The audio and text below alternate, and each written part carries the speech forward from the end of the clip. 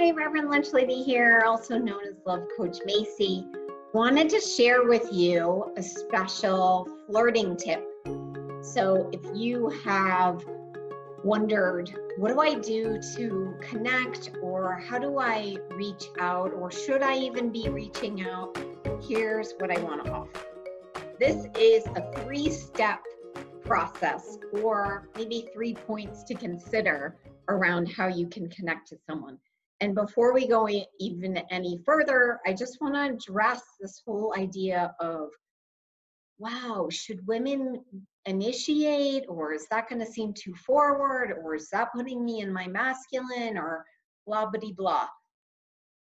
Here's what I know is that we are all individuals. And if you are wanting that love relationship and you know that that's important to you, let your curiosity lead you. And I will say that if we are stuck in fear, stuck in insecurities, and haven't sort of done the inner work to really be in your own awareness and not choosing or acting out of, you know, avoiding fear or acting out of ways that are basically other people's points of view about what it looks like to create the perfect relationship, then it's going to be really hard to navigate the dating space in service of you.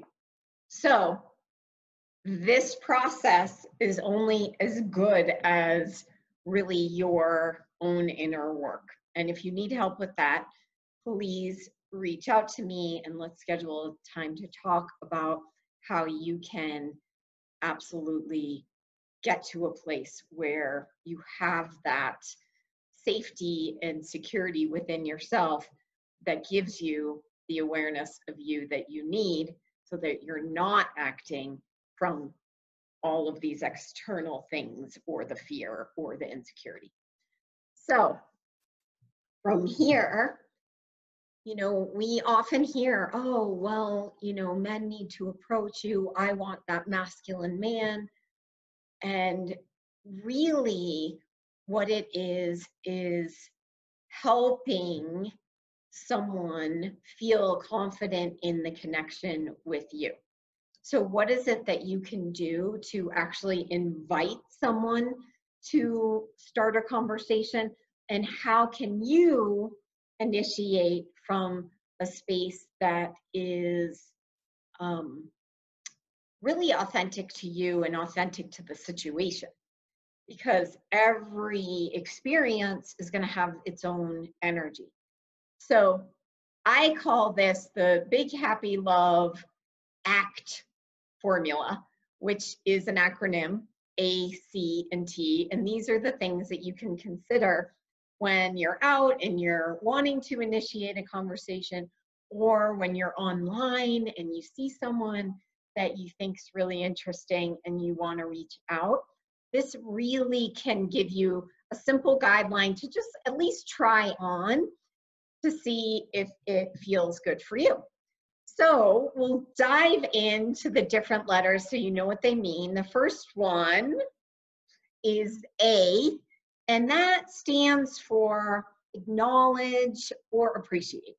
So simply online, it's pretty easy to do this because if you've read their profile or even seeing their pictures and there's something that piqued your curiosity, it's either something that, that they wrote or you know maybe something about one of their pictures. And the first one a is an opportunity to acknowledge or appreciate something about that person. And you know keeping it simple like oh i really love that you volunteer at an animal shelter. Uh, uh, usually that means that there's something about that that lights you up too. So that's the first step is to acknowledge or appreciate something about someone.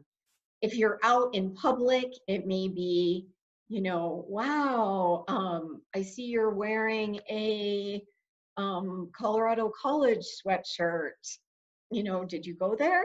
You know, something like you're just you're noticing something and you you lead with that acknowledgement or appreciation.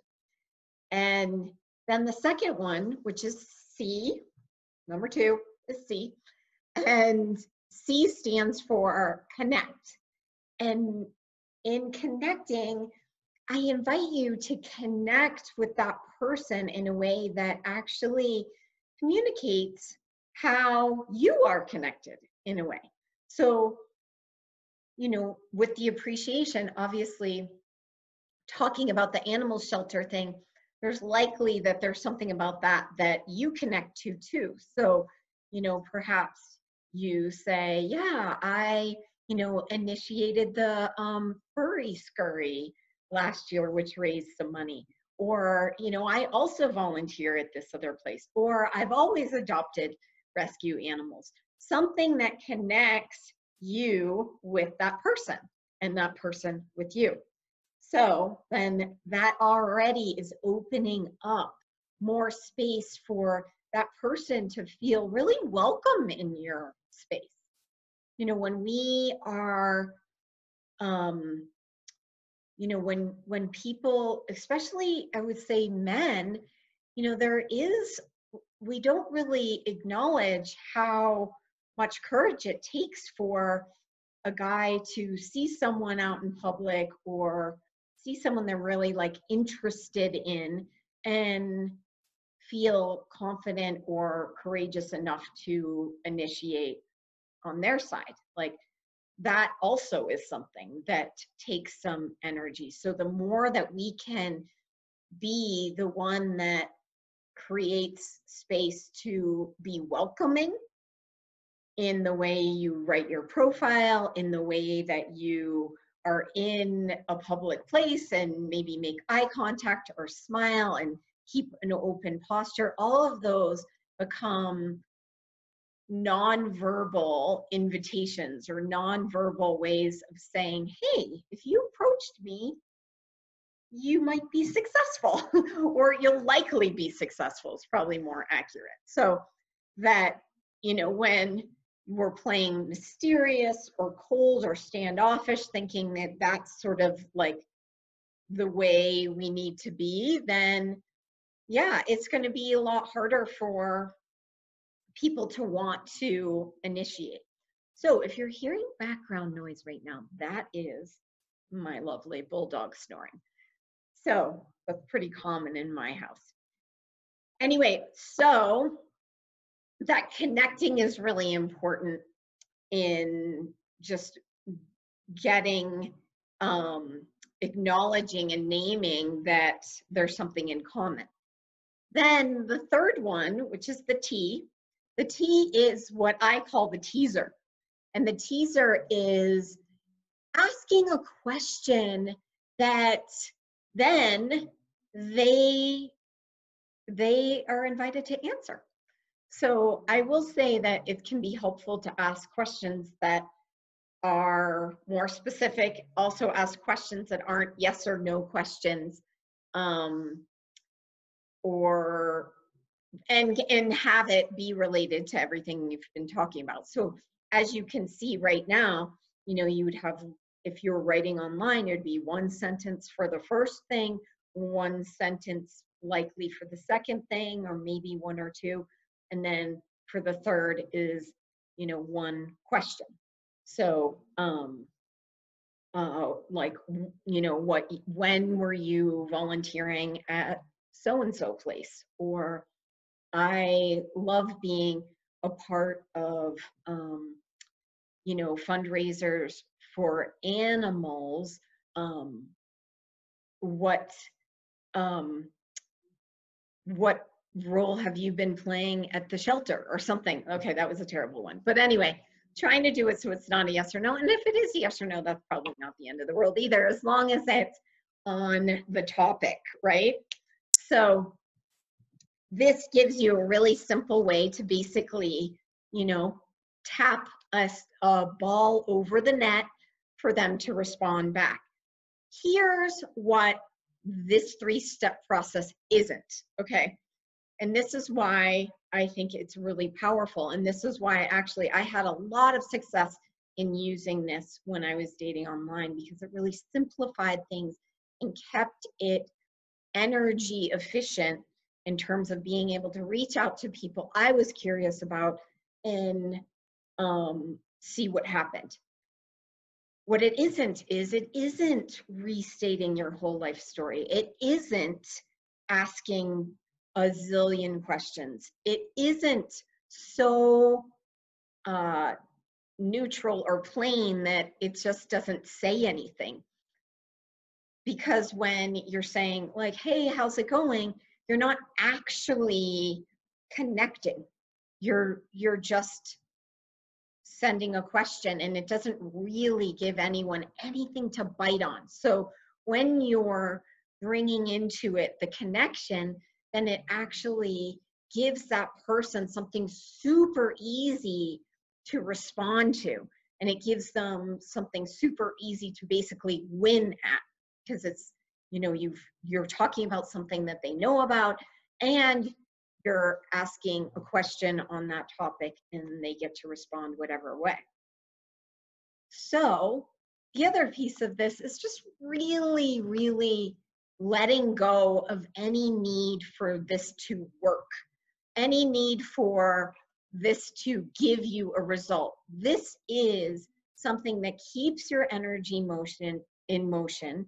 It's something that invites you to really follow your curiosity and it does open up doors. So, you know, when we're tied and grasped to, okay, they better write back, they better write back, and then say they don't, then it's easy to kind of go into the, oh, you know, there's nothing works for me or whatever. So you so we don't want to go there. We want to use this as a method to keep in motion and to honor the the actual true hits of curiosity that you're having about people. And um really i find this to be a lovely experience and and a simple way to not um, overwhelm people. Like if you end up writing your whole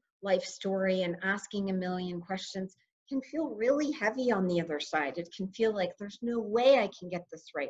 There's so many questions. I'm never going to get this right. And even though they may not be consciously saying that, can be really off-putting because it's just too much to do. You want to facilitate something that is the ease and flow and joy and playfulness that I'm guessing that you ultimately want in your love relationship. So, in summary, the ACT, the ACT formula, inspiring you to connect to people is one, acknowledge and appreciate. Two,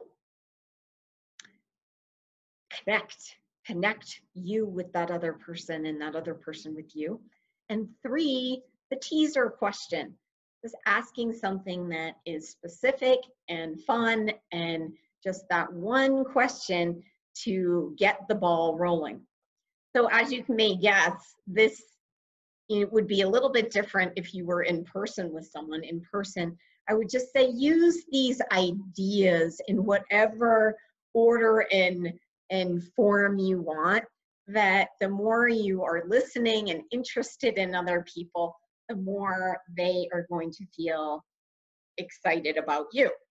So, thank you for listening. If love relationship is what you want to create in the next next 6 to 12 months and you just want help with that, you want that one-on-one support, please reach out to me and we'll set up a happy in love strategy session. In fact, the link will be in the, the description below and set up a time so that we can look at what is in the way of you having what you want. What is that perfect vision, that that relationship? What is the right relationship for you so that you're not wasting your time with the wrong relationships? And what are those next steps. And what I know is that the beauty of love coaching is that it actually really helps you move and dissolve any of those limitations using proven practices that really get to the, the source of any of our insecurities and fears that have been keeping us in the wrong relationships and unplugging them so that you can have a completely different kind of relationship, which I like to call unicorn love because it's the kind of love that you never thought could really exist, but it does. So, thanks for listening. Can't wait to get to know you. We'll see you really soon.